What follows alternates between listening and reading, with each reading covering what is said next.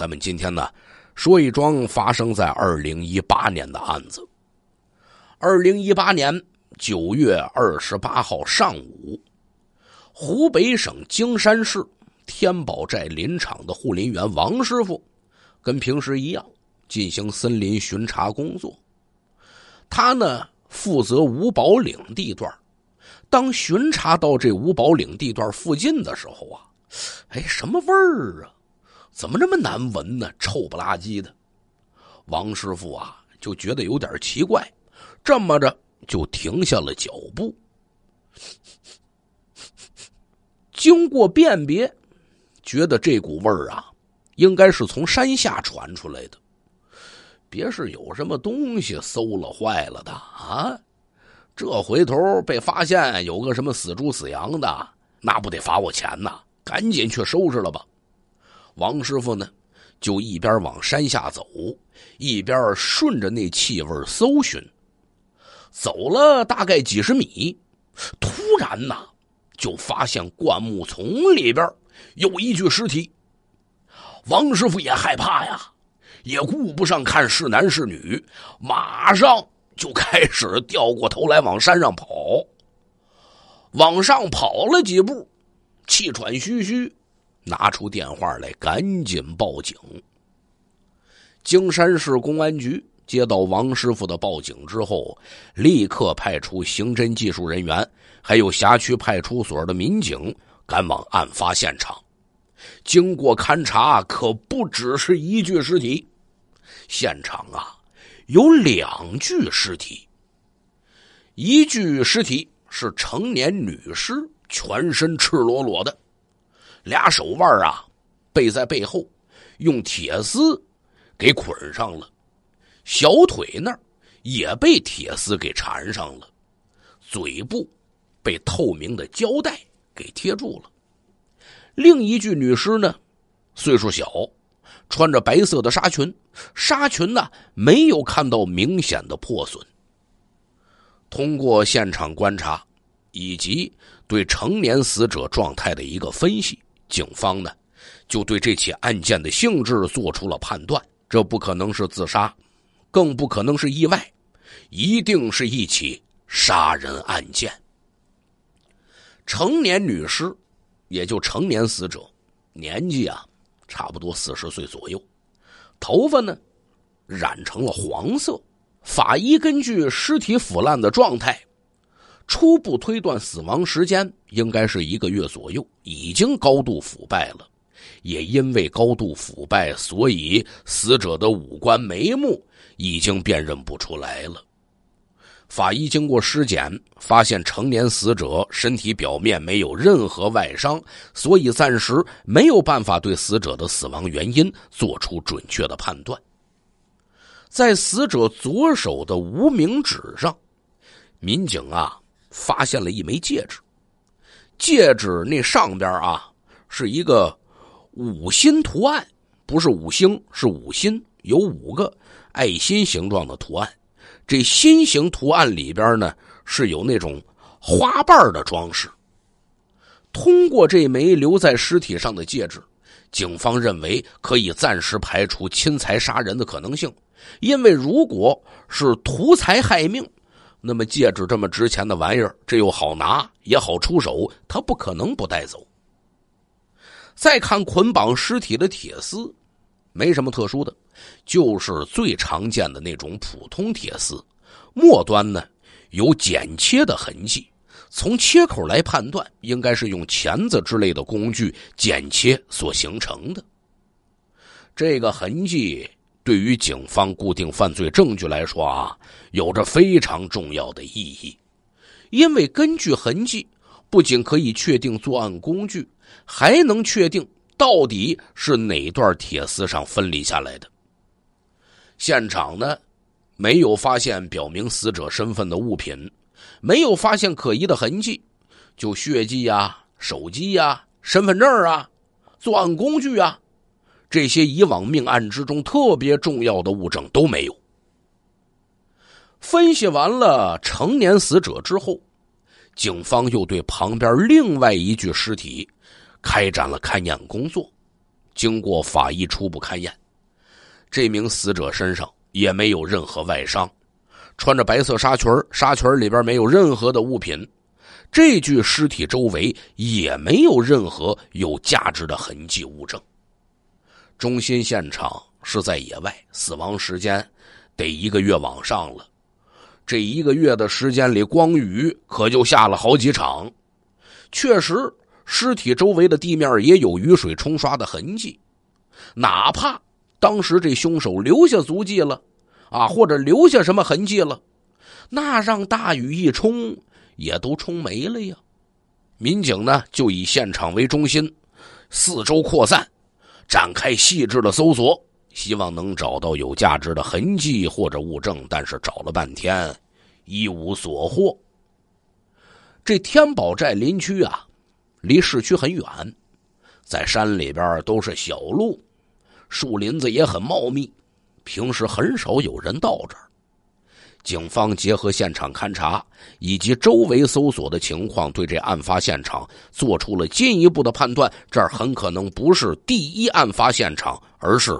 抛尸现场，通往山顶只有一条东西方向的土路，土路的东边呢，与京宋公路是相连接的，公路距离抛尸现场大概有十公里，土路一直往西走是没有大路相连接的。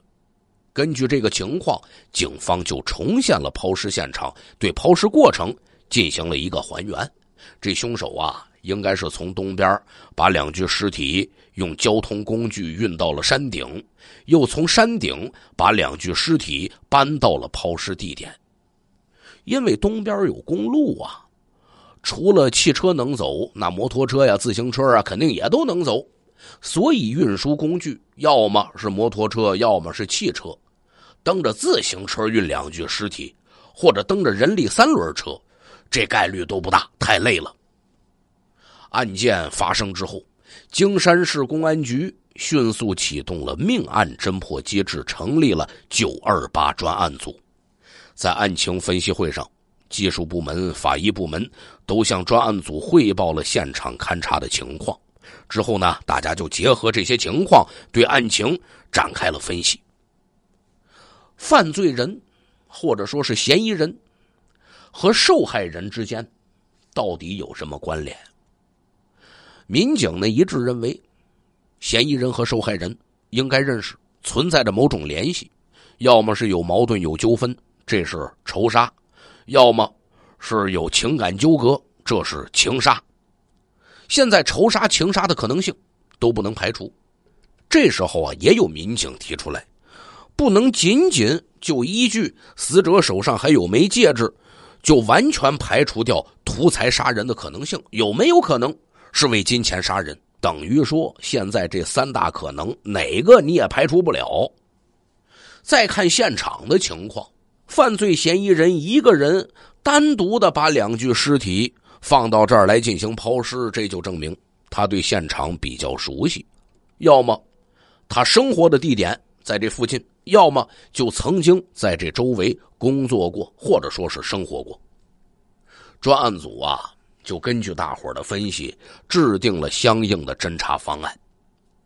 警方呢，首先沿着通往抛尸现场的京宋公路，一路查找监控，在距离市区大概三公里的地方，发现了一个监控卡口，调取了这处卡口的监控视频。随后顺着这条路继续找，可再往下。就没有其他的监控卡口了，因为那周围呀，它没有什么必要装这监控摄像头，除了茂密的树林子，也没有别的了，连村庄啊、住户啊都没有，所以在这条路上，民警没找到任何监控。最近的一个监控卡口，距离抛尸现场也得有二十公里左右。京宋公路上。唯一就有这么一处监控卡口，那只有这儿的视频有分析比对价值啊，那就看吧，一帧一帧的在那看。根据技术部门的推测，死者是在一个月前被杀害抛尸的。于是民警呢，重点查找一个月之前的监控视频。可这一找，坏事了，因为监控录像啊已经被覆盖了。这就等于说，现在破案手段里面最重要的一条天网系统监控视频完全用不上。那接下来又该从哪寻找突破口呢？这时候技术部门的鉴定有结果了。通过技术鉴定，能不能找到本案的突破口？上期节目咱们说了，因为啊案发时间太长了，想着从这天网系统摄像头上找线索那是不可能了，早都被覆盖了。这时候技术部门那边的鉴定结果也出来了，被害人手上的戒指啊材质是银的，法医呢？通过进一步尸检，也确定了两名被害人的死亡原因都是窒息性死亡。提取了两具尸体的 DNA，最终判断两名死者是母女关系。可是把 DNA 信息放到数据库里面进行比对，没有比中。警方就顺着这个思路调查最近半年来京山本地失踪人员的报案记录。经过查询，也没有母女二人同时失踪的报案记录，那赶紧的吧，向全国范围警方发出协查通报。发出之后啊，陆陆续续的收到全国各地的一些线索，接到了来自湖北襄阳、湖南怀化，甚至广州等地的电话线索，可是反映的失踪的情况。都跟本案的情况不相符，这些线索也就都被否定了。这时候啊，还有一组民警正在马不停蹄的对案发地点周边地区进行大范围的走访摸排。这一组民警经过一段时间努力之后，终于得到了一条重要线索：天宝寨林场有个住户叫李生。这李生呢，曾经在林场当过护林员，对案发地点周围的环境比较熟悉。后来就不在林场上班了。据大家说呀，前一段时间李生离开家去了外地，去哪儿了没人知道，去向不明。他离婚之后呢，会经常带一些不三不四的女人过夜。警方啊，得到这个消息之后，就认为这个李生有着作案嫌疑。随后，马上对李生展开深入调查。首先找到他的邻居，邻居就说：“哎呀，春节之后啊，他跟他儿子到武汉做生意去了。五一的时候看见他回来了，最近俩月没见着他，是不是又走了呀？具体什么时候走的也没留意，我也不清楚。但是经过警方。”对李生进行深入调查，发现李生确实在案发期间没有回过京山，他没有作案时间。这案子等于说重回原点，重新陷入僵局。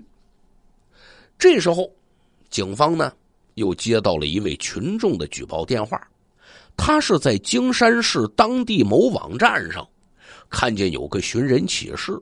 这寻人启事是前一段时间发的，有一位母亲带着女儿离家出走。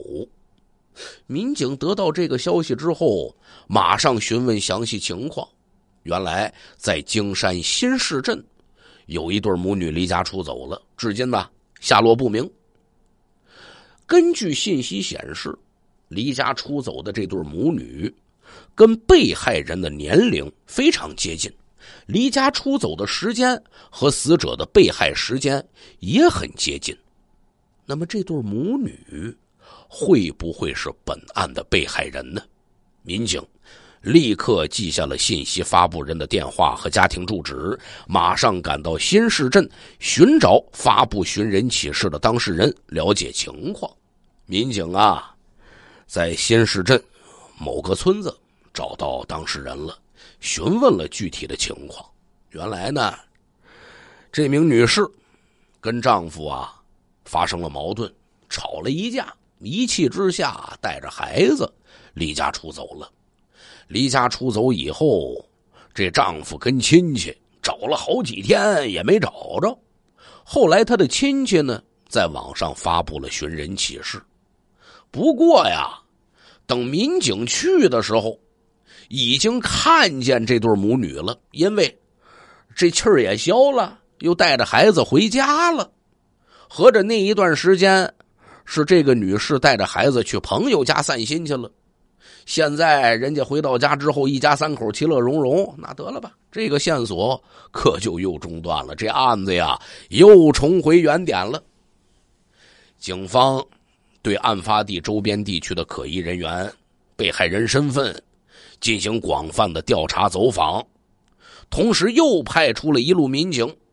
对案发现场提取到的一个重要物证进行走访调查。哪个重要物证啊？没别的呀，就那枚戒指啊。那这枚银戒指能不能让警方确定死者的身份呢？民警就带着戒指走访了京山的多家金银首饰店。工作人员看完之后都说：“哎呦，这不是我们店卖的，我们店没卖过这款型的。”民警是一家一家的走，最终来到了一家金店。接待民警的是金店的经理。他在仔细的看过戒指的照片之后，他说：“呀，虽然呢这不是我们店卖的，但是我看这个戒指的样式啊，呃。”我我分析两句吧，我也不知道分析的对不对啊。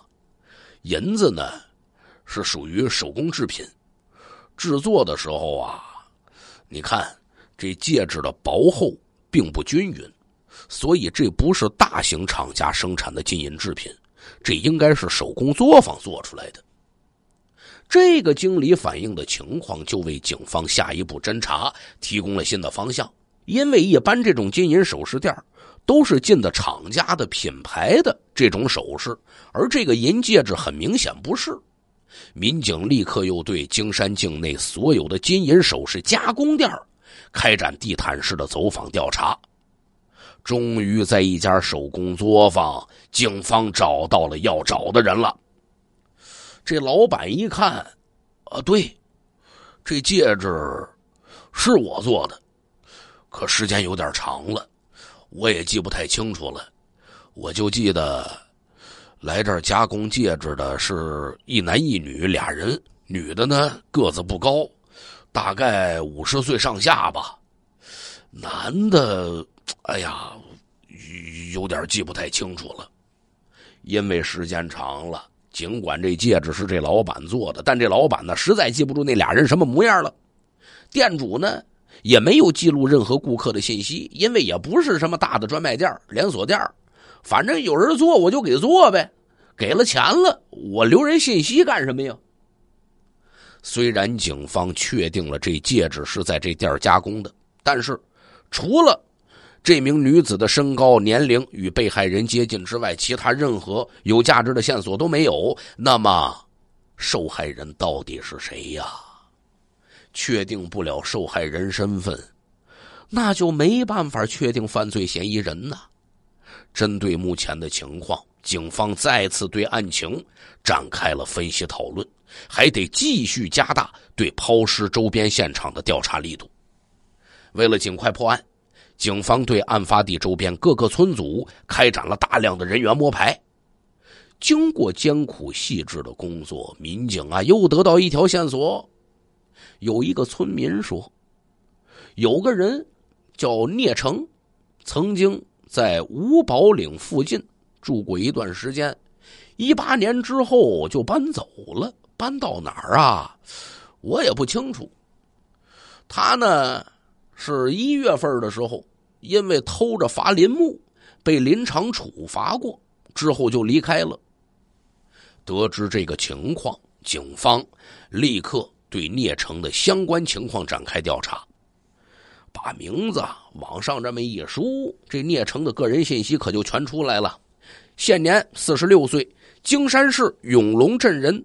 之前呢，因为盗窃被判过刑，二零一五年才刑满释放。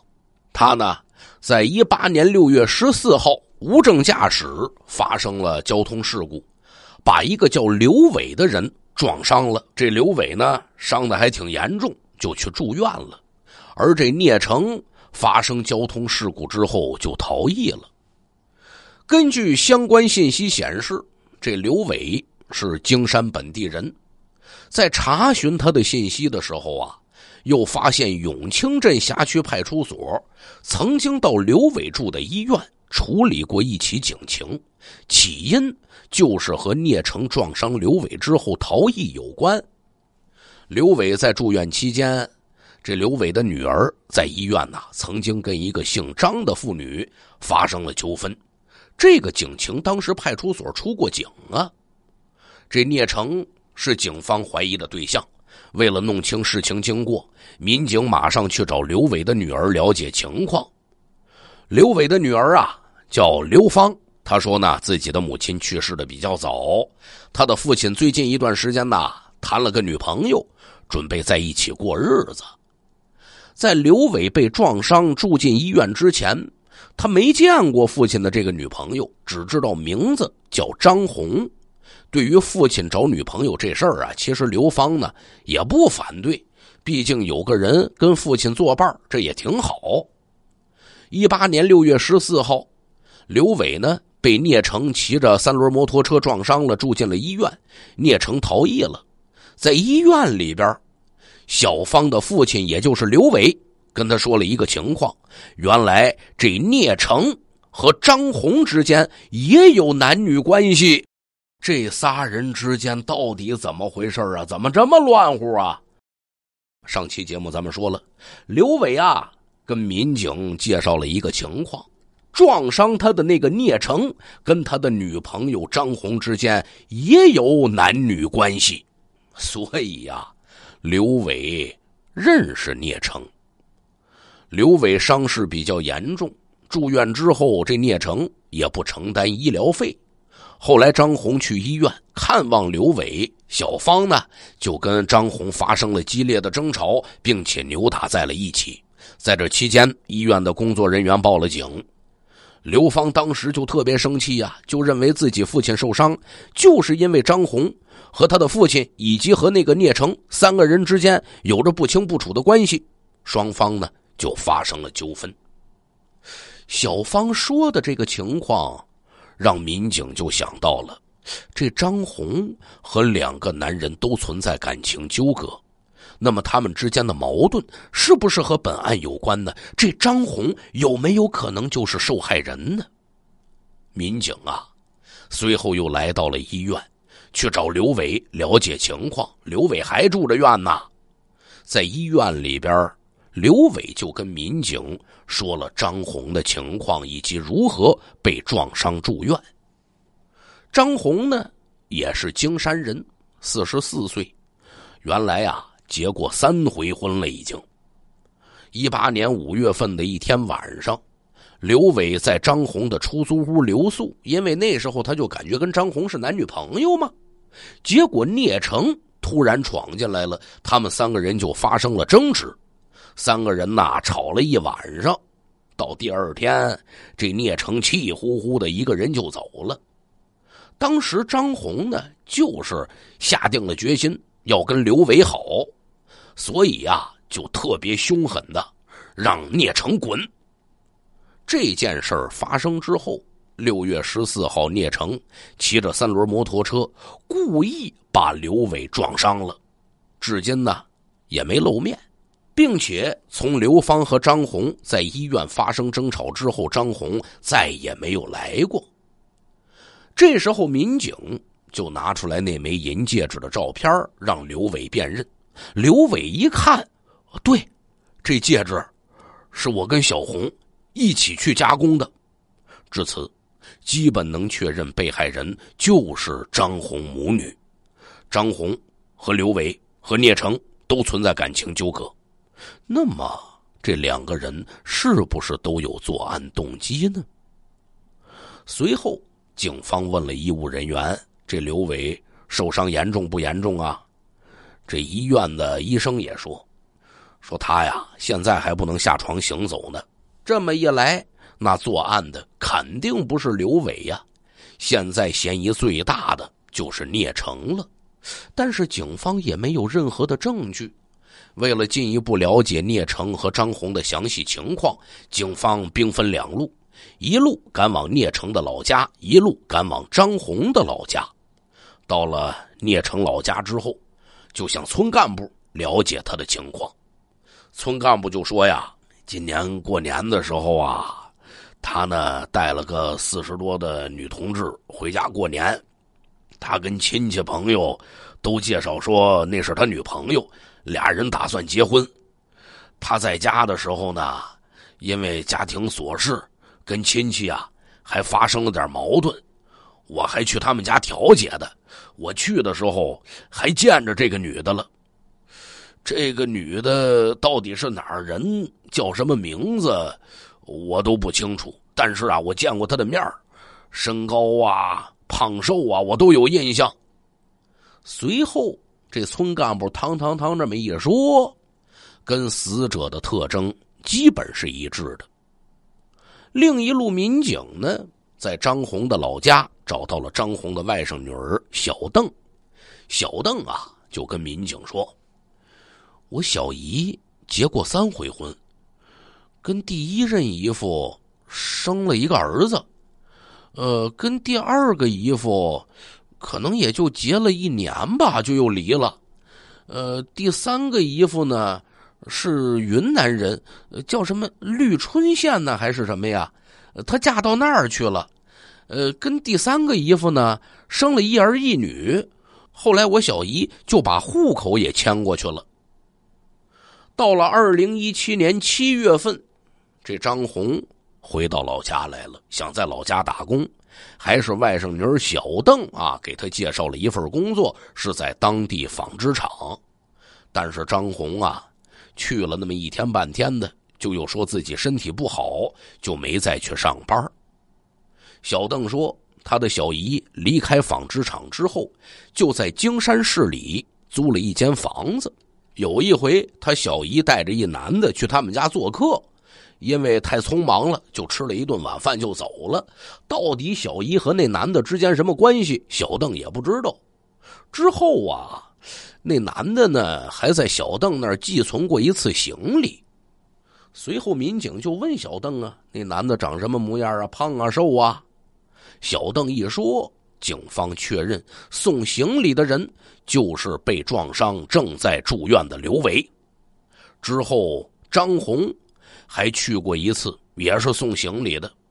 据小邓回忆啊，张红这次回来，给小邓呢留下两个存折，一个是五万的，一个是三万的。张红说想在这儿买套房子，这就意味着张红为了买房，把所有的积蓄都拿在手里了。这个情况就引起了警方的重视。小邓说：“最后跟小姨联系是八月十五号，小姨给自己发了个消息，说准备回云南去接小孩，把孩子接过来到这边上学。可在那之后，小邓始终没等来他的小姨。九月三号晚上，小姨的男朋友给小邓打过一个电话，说是小姨过来这边已经三天了，怎么手机打不通啊？是不是换号了呀？”小邓说了：“哎呦。”他要是换号了，那肯定得第一个通知我。反正我这儿没接着信儿。再者说了，他换号了也得通知你呀，你就别担心了。这么着就挂了电话了。小邓再给小姨打电话，电话呢就一直是关机状态。根据小邓的叙述，警方就认为。张红啊，应该是九月一号左右从云南回到京山之后遇害了。这个时间和技术部门确定的被害人的死亡时间基本上是一致的。警方就查询了张红的乘车信息，发现他一八年八月二十五号从京山乘坐火车到武汉，又乘坐火车到了云南。九月一号从云南坐火车回到了武汉，然后又坐车到了京山。那他回到京山之后，是不是有人去车站接他呢？警方立刻赶到火车站，调取火车站的监控视频，但很遗憾呐，视频信息呀也都被覆盖了。至此，聂成有重大作案嫌疑，但是始终没有有力证据。警方呢也不想过早的惊动他，接下来就要围绕他进行深入调查，找到他的犯罪证据。警方在进一步调查聂成时，发现了一个重要线索：聂成九月份在京山购买了一处房产。他平时啊也没什么经济来源，怎么突然有钱买房子了呢？这笔钱是他的吗？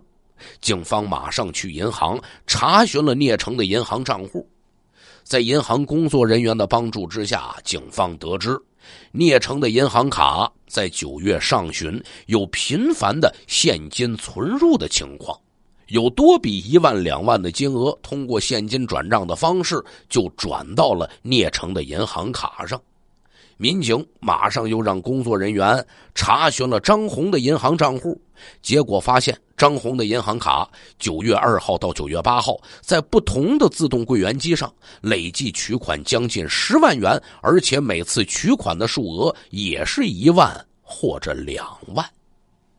民警让工作人员呐调取了全部 ATM 机的监控视频，视频显示九月二号张红本人。在自动取款机上取款，取了两万。取款的时候有一个男的跟他一起去的。经过相片比对，这个人就是聂成。九月三号到九月八号的监控录像显示，张红银行卡里边的钱被一个戴着帽子、戴着口罩的男的分多次在 ATM 机上取走。每次取款，这男的都换不同的衣服，但穿的鞋是一样的。经过比对，这个人就是聂成。至此，终于有了证据，警方决定对他实施抓捕。二零一八年十月二号晚上，警方在提前设置的伏击点，将准备逃跑的聂成成功抓获。面对警方审讯以及大量的证据，聂成承认了自己杀害张红的犯罪行为。据他交代，一八年九月二号晚上，因为买房和感情纠葛的事他跟张红在他的出租屋里面发生了激烈的争吵，一怒之下把张红母女就都杀害了。九月二号半夜，用摩托车把母女的尸体拖到了天宝寨林场一个隐蔽的地方，行凶之后。聂成取走了张红随身携带的财物，并且分多次取走了银行卡里边的存款，但是匆匆忙忙之中，那枚银戒指就留在了张红的手指上。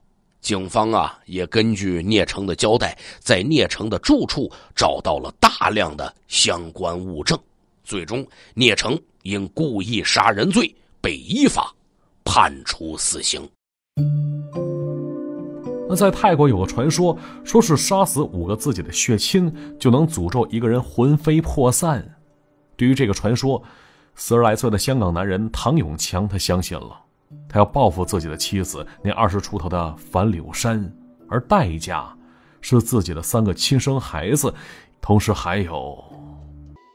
那是两千零二年十二月四号的晚上七点，在元朗广场。这是本地最大的购物中心了，也是文文放学之后最爱来的地方。在这里可以抽亮晶晶、印着彩画的闪卡。这文文最近喜欢上了偶像组合 Twins，想要抽到这个组合的最新闪卡，但他的运气显然不太好，连着抽了三天都始终没抽到。这文文看着自己专门换的转运衣服，叹了口气，呃，念叨着：“不是说穿红色衣服能转运吗？真骗人。”那就这会儿，文文刚要回家，耳边突然传来一个稚嫩的声音：“姐姐，你是不是想要抽 Twins 的闪卡呀？”这文文一听，回头一看，哟，见到一个长相乖乖巧巧的小男孩，就笑着说：“啊，对呀，弟弟，姐姐是想抽，可是总是抽不到啊。”那结果这小男孩说了：“说他们家有很多卡，你呀跟爸爸说，他一定会送给姐姐的。”那说完，这小男孩朝不远处一指。文文抬头一看，一个相貌普通、戴着深度眼镜、有点驼背的中年男子正朝着自己微笑呢。这男子看上去人畜无害的模样。啊，接着这男子走过来，很讨喜的说：“小妹妹，你可以跟我叫唐老鸭叔叔。”哎，边说着边做了鬼脸儿。同时，这男子还说了：“说就在昨天，他刚抽到两套最新的 Twins 闪卡。”啊，接着这男子刻意弓起后背，把脖子向前伸长，直到眼睛能跟文文的双眼直视。哎，这一时之间，两人竟聊得十分投机呀。这男子发出邀请，跟他说：“小妹妹。”我家离这儿不远，你可以跟我们一起回去啊！我把那卡送给你。要说这文文是心里念着闪卡啊，不疑有他，跟着男子还有那小孩是说着笑着登上了一辆计程车。那，接着这时间来到两千零二年的十二月四号夜里十点多，那在元朗警署，当天晚上十点，元朗警方接待了一个报警人。这人神情紧张慌乱，说自己十一岁的女儿文文失踪了，说是文文七点的时候跟家人打好招呼去元朗广场抽闪卡去，但十点了依然没回到家里呢。那询问过他的老师同学，没人知道他的去向。那警方对此是高度重视，案件被迅速转交到重案组，因为少女失踪案件会涉及到绑架或拐卖，当事人有被侵害或被转移出港的可能性啊。那经过调查，发现文文平时跟家人关系非常不错，没有离家出走的可能。那排除社会关系也非常简单，无非就是家人跟同学、老师。于是警方迅速调取了元朗广场的监控视频，就看这视频上显示，当天晚上七点三十分左右，这文文确实在广场二楼抽卡呢。但是没过多久就穿过天桥离开了。那附近其他监控探头不足啊，没有拍到他那更多身影。就这样，没找到更多线索，警方只得在元朗区张贴寻人启事。巡警也带着文文的照片四处搜寻，但始终没有结果。那专案组甚至还找来一位与文文身形相仿的女孩，穿着同样的衣服，对文文当天的轨迹进行重现拍摄。随后将视频在警讯节目上是反复播出，希望在社会上征询线索。就这样，转眼间两周时间过去了，还是没有任何结果呀。那是两千零二年的十二月十九号，呃，依然是在元朗警署。这一天，又有人来报案了，说十岁女孩小山失踪了。失踪时也是穿着一身红色衣服。那小山就读于元朗佛教荣音小学，平时六点左右就能放学回家。可这一天过了晚上九点了，这家人依然没看到她的身影。那专案组马上把小山的失踪和文文的失踪关联到一起。这俩人都是十来岁左右的孩子，黑长直发，长相漂亮，而且失踪时都穿着红色衣服。这俩小女孩惊人一致的特征，非常符合变态连环杀人犯选择目标的习惯呢。那到这儿，专案组深感问题严重，迅速调取了小山经常活动地段的监控，结果说好也不好啊。那欣慰的是，在学校附近车站的监控画面当中，小山出现了，那上了三十九号线小巴。但糟糕的是，有个驼背男子跟他并肩行走在一起，也上了车了。这监控只拍到他们的背影，所以说这男的到底是谁呢？当时这警方也请小善的家属来辨认，那家属却说他们不认识。要说三十九号线小巴上可没有监控。从荣英小学附近的凤翔路发车，途经教育路、马田路、田料村以及白沙村等多个车站，就这一路要经过好几个围村，啊，就是由石墙包围的一种传统村落，啊，期间还有大量岔口路段，而且大部分地段都没有监控摄像头，无从判断小山是从哪站下的车呀。那更加让人失望的是，这小巴司机和乘客没有一个人对小山或是驼背男子有印象啊。那这俩人仿佛就是凭空出现又凭空消失了一般。啊，从监控画面分析，小山似乎是自愿跟随驼背男子走的，全程丝毫没有胁迫的迹象。那专案组对此是百思不得其解呀？难道小山认识这人吗？或者是被精神控制了？就这样，一连串的谜团让调查组是陷入迷局了，而元朗的居民也开始感受到了恐慌情绪了。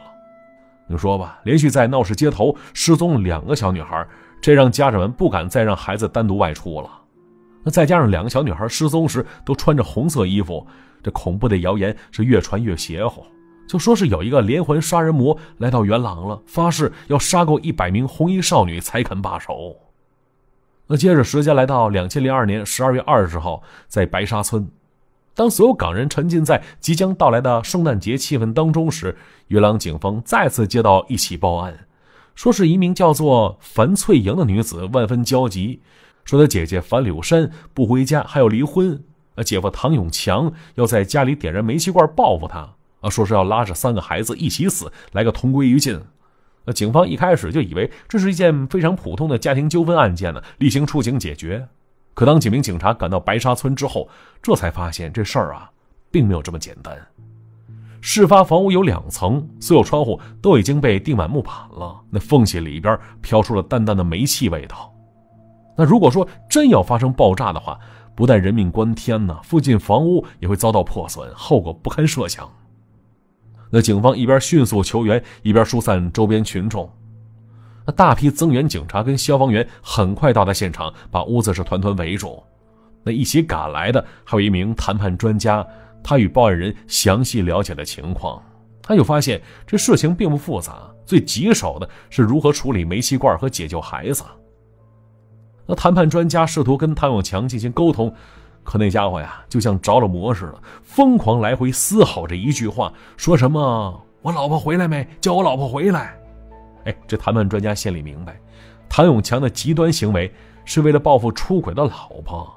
啊，如果现在把他老婆找回来，这唐永强很可能会直接引爆煤气罐，让妻子看见孩子死去的惨状，达到报仇的目的。那无奈之下，现场指挥一方面让谈判专家稳住唐永强。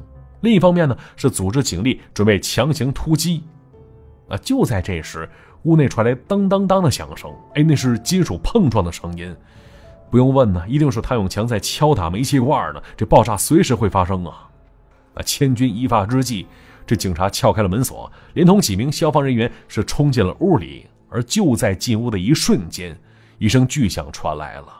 没错，屋里爆炸了，所有人都被震倒了。全屋的玻璃窗是应声而碎，这孩子们凄厉的哭嚎声从二楼传了过来。原来这唐永强竟然在二楼点燃了打火机了！哎呦，一时间是火光冲天呐！这浓雾当中，消防员是迅速扑灭了明火，那几名警察赶紧爬起身来，冲向了楼上。那就见到三个孩子被一条红绳捆扎在煤气罐上，是哇哇大叫。那一名驼背男子被炸倒在地。还好煤气罐罐体完好，只是释放的气体被引爆了。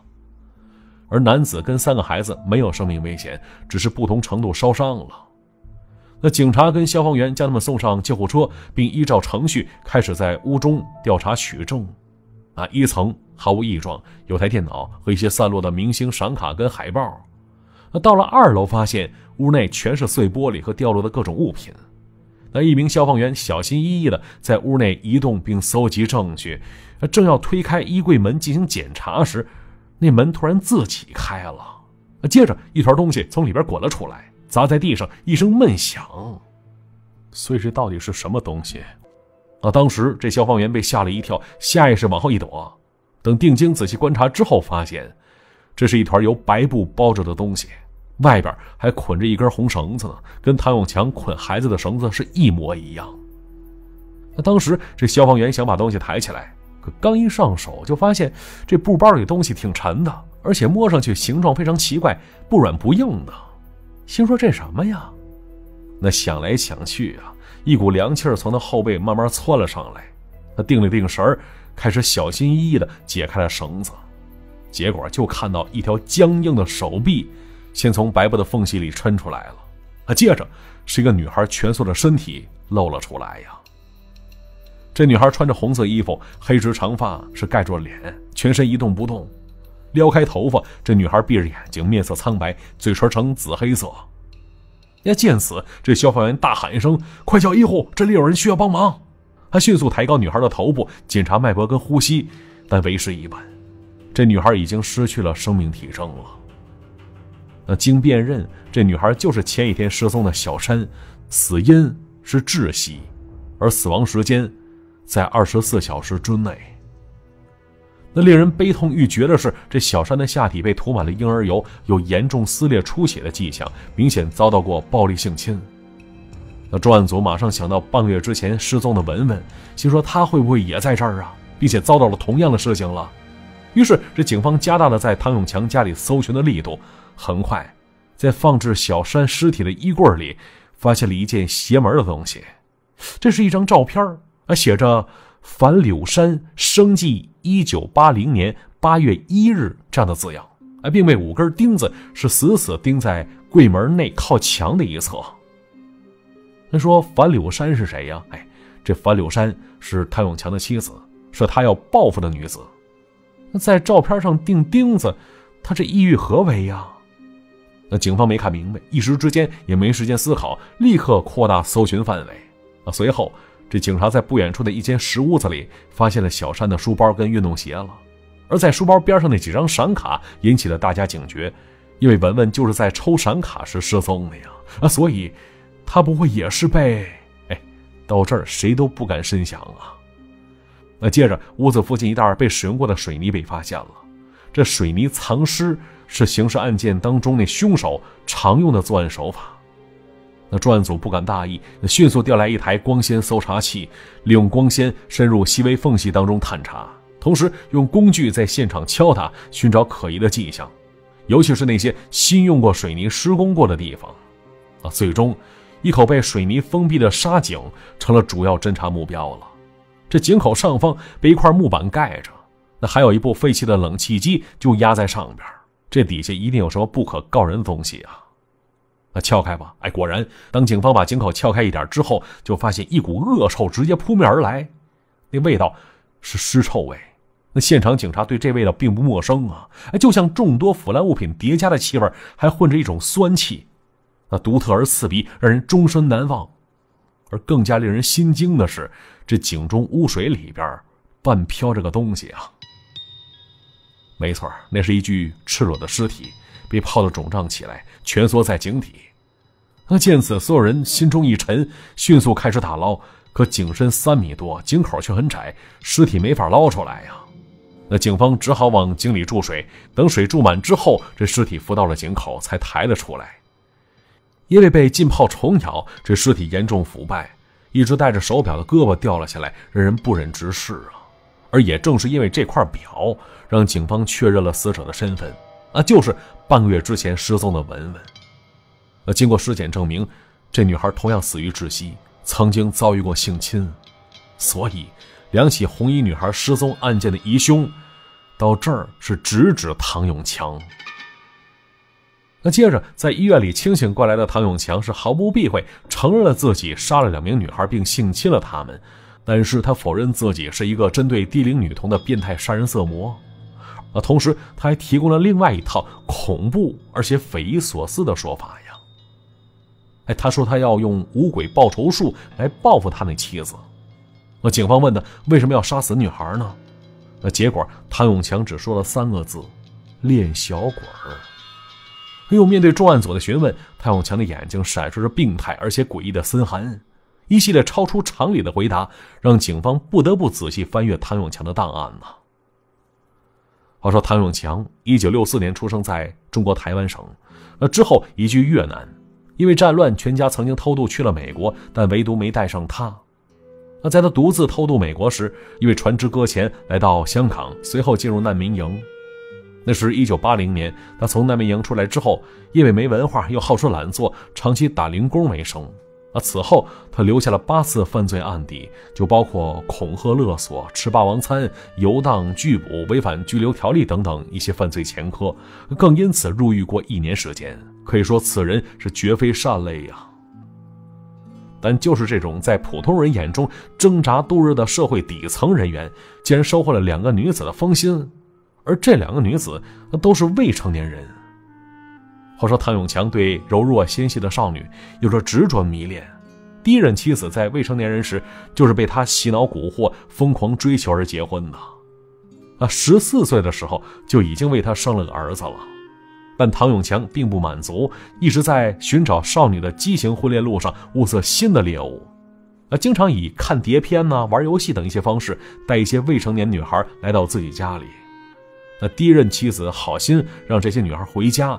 可当时只有十一岁的少女樊柳山却赖下不走了。要说这个樊柳山是个叛逆少女，不爱上学，却喜欢跟社会上的一些闲散人士瞎混。对此，这父母想管也管不了。认识唐永强之后，他把唐家当成安乐窝了。唐永强也投其所好，两人很快发生了关系。要说三人同居的生活听起来是无比荒诞可怕的，但事实真就这么发生了。就这种畸形的生活状态，直到唐永强妻子无法忍受，才宣告结束。那是一九九七年，刚满十七岁的樊柳山怀孕了，唐永强为避风头，举家搬到白沙村。那樊柳山成年之后，正式嫁给了唐永强，随后生下一儿两女。那也正是见到了自己外孙儿，樊柳山的父母才承认了这门亲事。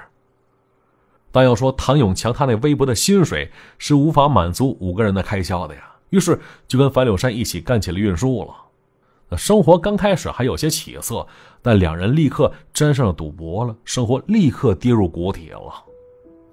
要说那樊柳山本来就是个好逸恶劳的主，为了挣钱省劲儿还能玩就去了旺角一家 KTV 里当了公关女郎，那在 KTV 里，这樊柳山结识了形形色色的客户，这才幡然醒悟，说自己以前有多傻呀！哎，一直被唐永强当成发泄变态欲望的工具啊！于是他开始追求自己想要的东西，并且跟 KTV 老板打得火热。那此后，这樊柳山向唐永强提出离婚请求，那发誓再不继续从前的生活了。那一听这话，唐永强立刻就抓狂了。他突然意识到，哎，自己再也控制不住那个曾经言听计从的小女孩了。为此，他不停对樊柳山进行骚扰跟阻拦，甚至求助于社会福利署。要说这社会福利署是香港一个为弱势群体提供无偿福利救助服务的政府机构，有点类似于妇联、残联。那福利署多次派人到唐家进行劝解。因为闹得很大呀，连当时的署长林郑月娥都差点上门调解去。哎，只可惜是打破玉龙飞彩凤，顿开金锁走蛟龙啊！这樊柳山早就已经大彻大悟，而任你说破了天，也绝对不肯回头。那事已至此，虽然狗血，但是依然没触及法律。但接下来的事情出现了变化了，在唐永强的操作之下，这事情开始朝着离奇诡异的方向发展起来了。那到这儿，近乎疯狂的唐永强做出了一个癫狂的决定，什么呢？就是你不让我好过的话，我就得把你毁灭掉。他曾经想到，哎，自己曾经在泰国学到过一种邪术，那叫五鬼复仇术。其实这邪术听起来并不复杂，说的是，首先这施术者要将仇人的名字跟生辰八字写在他那照片上，然后用五颗钉子钉在相应的位置上。然后再杀死五名跟施术者有血缘关系的人，并将他们用红绳捆扎起来。哎，这样就可以炼化出五只小鬼儿，那驱使他们的邪灵是缠绕在仇人左右，使其永世不得安宁，到死都要受到五鬼的折磨呀。话说谭永强的三个孩子成了五鬼当中的三个目标，然而还有两个需要跟自己有血缘关系的人，该如何解决呢？想来想去，通过几天的闲逛来寻找目标，接着。盯上了元朗广场穿着红色衣服的文文了。那为了使受害者不起疑心，先让自己儿子上前搭话去。接着又用新版的 Twins 闪卡相诱惑，骗文文上了计程车，一起来到自己家中。到家之后，这唐永强先是拿出几张 Twins 闪卡，让文文自己挑选，并且让孩子陪文文玩。他自己准时上了二楼给妻子打电话，并且威胁他说：“说如果现在你不回来的话，我马上杀死文文。”就这会儿，那樊柳山对他那骚扰早就习以为常了，认为这又是一套骗自己的说辞罢了，根本没放在心上。就这会儿，孩子们玩得很开心，丝毫没注意到他上楼之后在跟谁打电话。而没过多久，汤永强脸色阴沉，直接下楼了。他是极力掩盖失控的情绪，啊，假装温和的对文文说：“小妹妹，我在楼上又找到一些闪卡，你要不要过来看一看呢？”那听到这些，文文兴奋极了，毫不迟疑跟着他就上了二楼了。那紧接着门没关上，那和蔼可亲的唐老鸭变得面目全非，狰狞起来。那双三角眼当中是流露出赤裸裸的兽欲，他是恶狠狠盯着文文呢。那见此，这文文顿时被吓住了，心说：“这叔叔想要干什么呀？”那没等他喊出来呢，这唐永强便一下子把他扑倒在床上，用枕头死死捂住他那脸了。这文文是死命挣扎着，但羊羔怎么可能抵挡过饿狼的质押呀？呃，只消片刻时间，这文文就四肢瘫软下来了。而接着，更加残忍的暴行还在后边呢。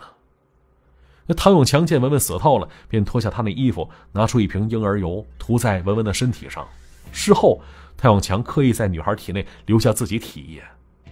没错，楼上那花季少女被奸尸，楼下三个孩子毫不知情，还在懵懂玩耍呢。那汤永强之所以会先杀后奸，是他认为杀死文文之后再侵犯，能够减轻女孩的痛苦，而他侵犯的目的。那就是在女孩体内留下体液，建立跟女孩所谓的血缘关系。那恶行之后，他将文文的尸体扔到不远处的沙井里边。第二天，用水泥将沙井密封起来。而接着，第二个受害者小山出现了。谭永强依然是利用孩子上前搭讪的机会认识了小山，只不过他跟小山认识的时间更早，双方还互相留了联系方式。因此，当十九号这一天。唐永强约小山去家里玩时，这女孩想都没多想，直接跟上他坐上小巴车了。但小山压根想象不到，就是个面目和善、言谈温和的叔叔啊，是个人面兽心的人渣呀。因为名字当中有个“山”字，这谭永强将他当成樊柳山的替身。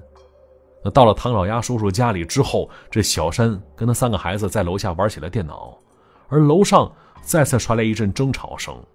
那接着。唐老鸭叔叔下楼告诉小山说：“楼上装了一部新的电脑，请他上楼来试试机器。”而刚到楼上，这唐老鸭叔叔便凶相毕露了。哎，就像对待上一个牺牲者文文似的，这唐永强也是先用枕头用力捂住了小山的口鼻，然后退掉他那衣服。只不过小山并没有第一时间被闷死，而是在被侵害过程当中又苏醒了过来。这女孩拼命反抗着，企图为自己找到一丝生还的机会，但是呢，她并没有因此逃离魔场，反而刺激了恶魔的兽刑了。那见小山醒过来，这唐老鸭一边继续进行侵害，一边用枕头死命压住了小山的脸。这可怜的女孩啊，几次苏醒，又几次昏迷，直到最后失去了生命。那作恶之后，汤永强在小山体内也留下了体液。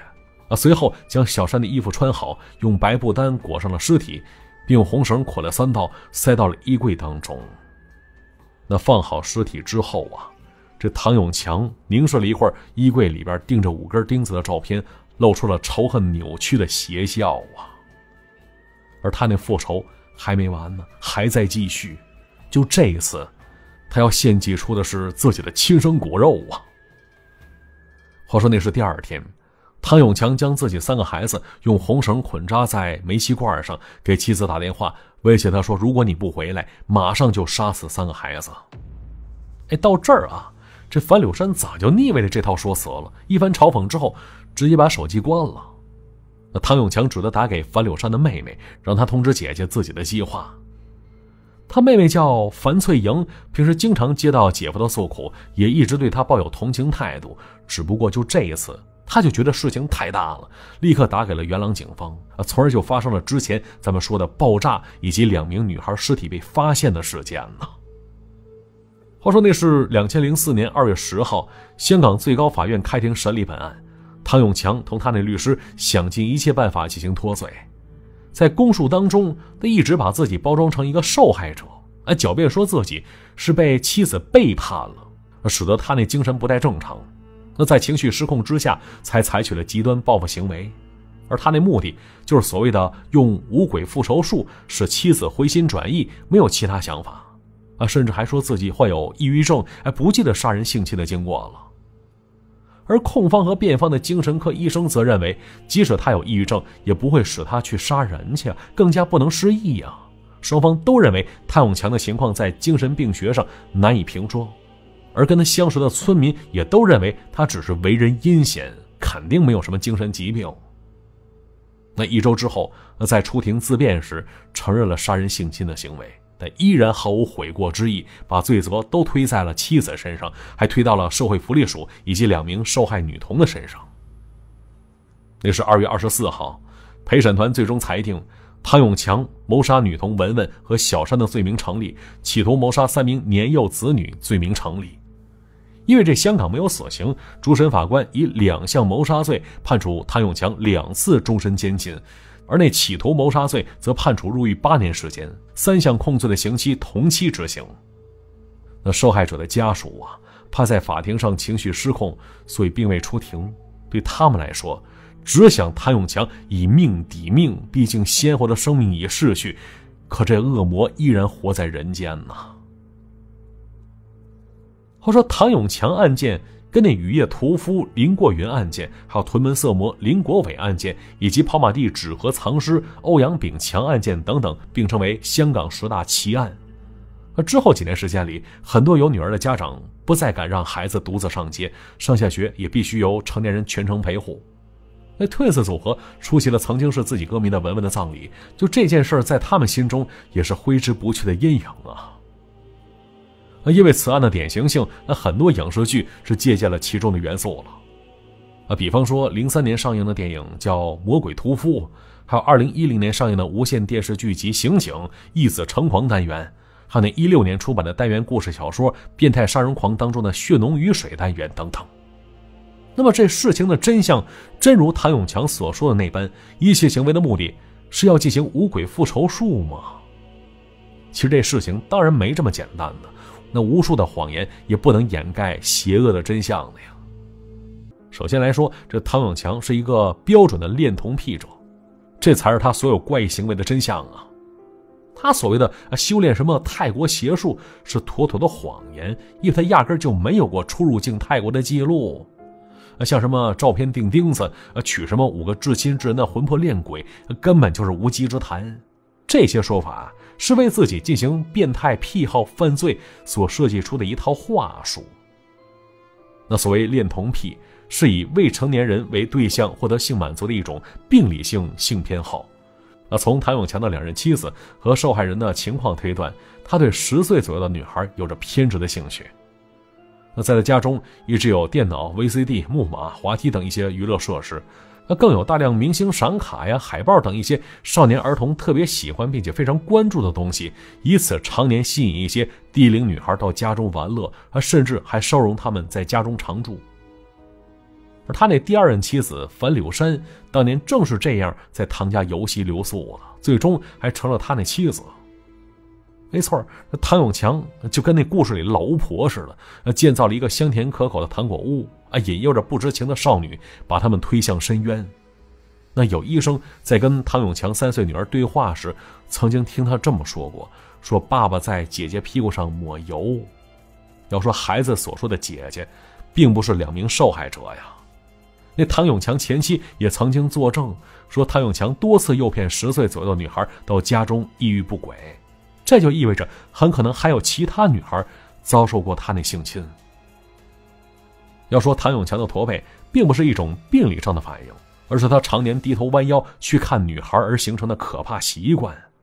而这两名被害女童文文跟小山，就是他有意识进行挑选的。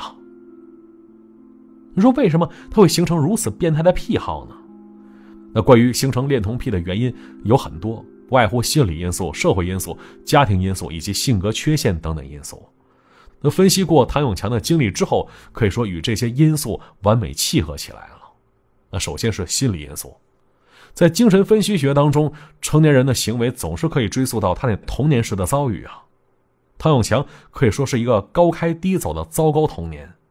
他先是家道殷实，随后家道中落，移民、战争、偷渡、被抛弃，每一样都在他幼小的心灵当中留下了不可磨灭的影响了。那在潜意识里留恋自己最初最美好的孩童时期，他将自己的人格封闭在一个以自己为主宰的由儿童构成的世界当中。他在家中所摆设的娱乐设施，既是他设计出的一道陷阱，那也是他留恋美好童年的一种现实映射。哎，这是心理因素，那再有就是家庭因素。唐永强的家庭在常年的动荡当中，没有给过他良好的教育和家的温暖，甚至在偷渡途中还曾经抛弃过他。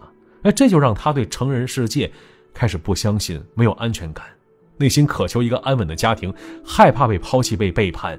因此，他面对妻子离开时，表现出了极度的疯狂，开始歇斯底里。那只是家庭因素。啊再有是性格缺陷，那唐永强在入狱之后，狱友曾经形容过他胆小懦弱，遇事不敢承担，而是选择向管教汇报，因此啊，在狱中也常常引起他人反感。就这样的人格，也使他渴望回到童年，呃，甚至以儿童为恋人。这表现在他选择妻子的时候啊，都是未成年人呢。面对这些女性，能让他产生信心；控制这些女性呢，让他有安全感，甚至有成就感。那还有是社会因素。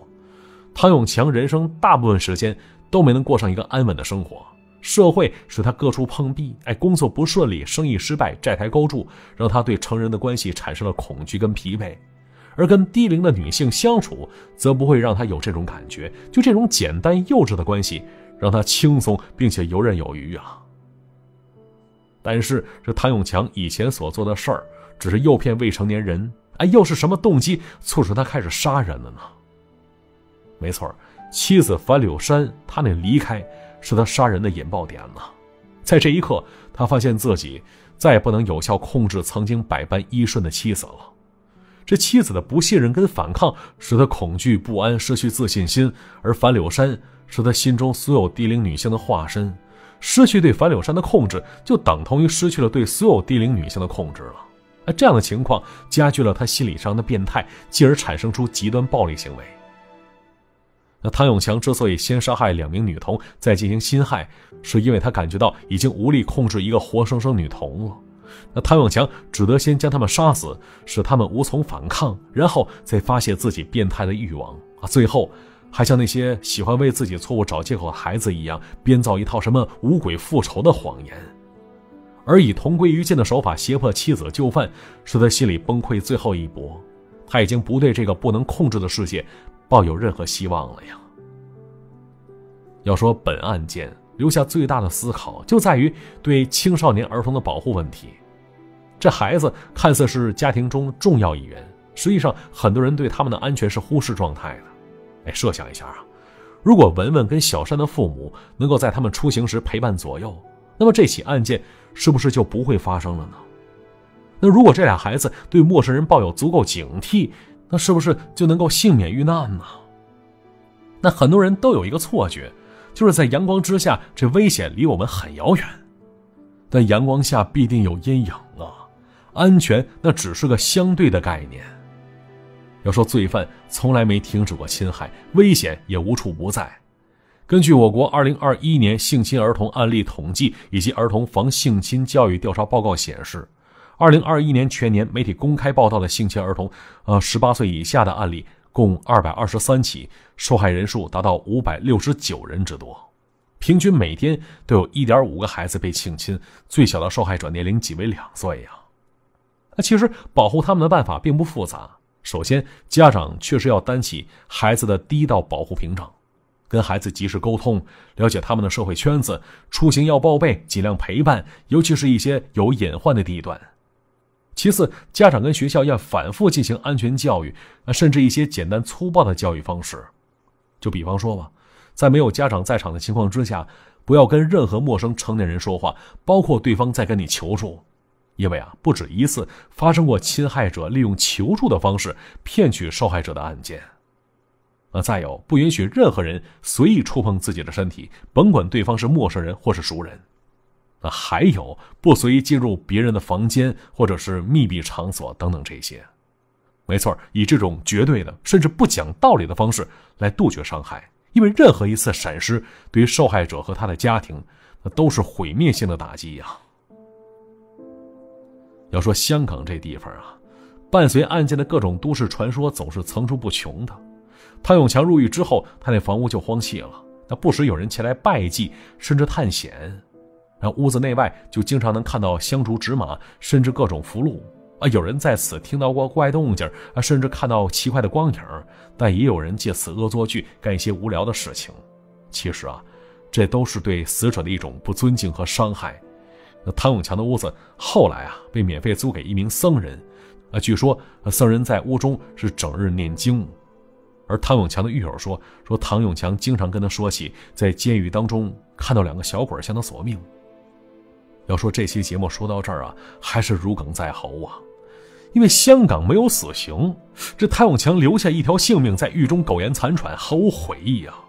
什么叫地狱空荡荡，恶魔在人间呢？那就用法学教授罗翔老师曾经说过一段话说：说多年之前，我曾经主张死刑废止论，但后来我放弃了这种观点。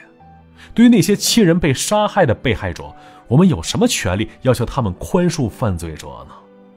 对于那些被杀害的被害人，他们已经沉睡于土地了，我们又有什么资格代替他们来宽恕犯罪者呢？那到这儿，这起案件也就讲完了。